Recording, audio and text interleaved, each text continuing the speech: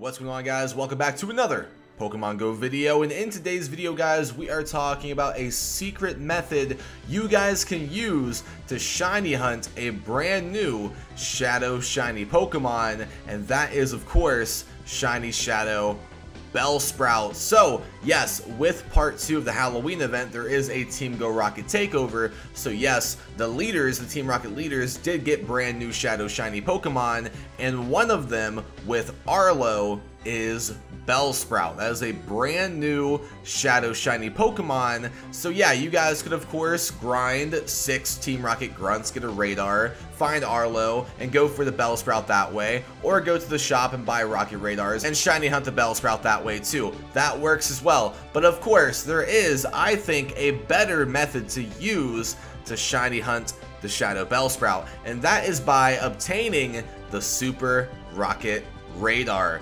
So, if you guys did get the brand new, you should have got this if you've done Team Rocket research before, you should have got the brand new research, Showdown in the Shadows. This will award you a Super Rocket Radar on page 3 that you guys can use to track down Giovanni, battle Giovanni, and catch Shadow Reggie Gigas. So, yeah, when you guys do get your Super Rocket Radar, you do, of course, have to track down Giovanni, by using the radar. And of course, these images of Team Rocket will appear. And once you go to those images, you will see Giovanni right here.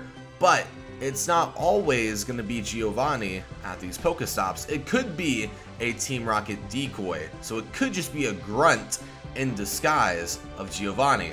So let's see if this is a decoy grunt or Giovanni himself. This one's going to be a decoy grunt. All right, perfect. So this is what we want to have, guys.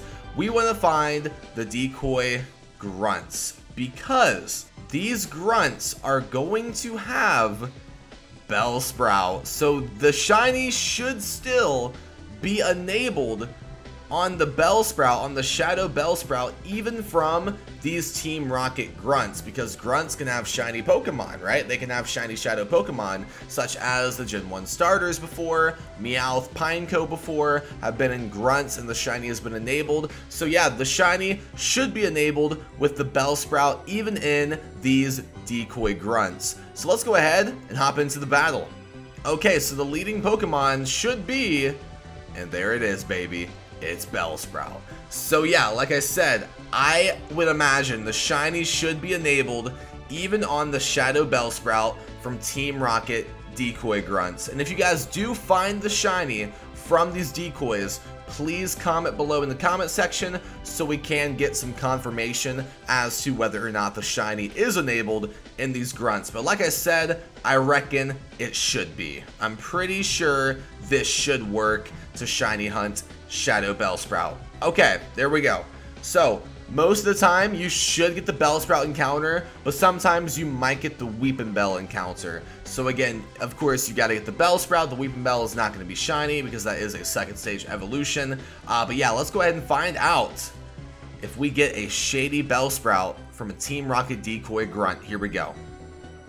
Okay, so like I said, guys, Bellsprout encounter right here. I reckon the shiny, like I said, it should be enabled in these Team Rocket Decoy Grunts. So this might be an easier way to shiny hunt this brand new shiny shadow Pokemon. By the way, uh, I have two Zoruas here. Either of them shiny. Not gonna shine for me. That would have been sick for the video. But again, use this method to shiny hunt Shadow Bellsprout because I think this is a little bit easier uh, to shiny hunt the Bellsprout. So please let me know in the comment section below, guys, if you do get a shiny Shadow Bellsprout from using this method during the Team Go Rocket takeover. Let me know. Thank you guys so much for watching today's video. If you enjoyed, drop a like in the video, subscribe for more, and I'll see you guys in the next one. Peace.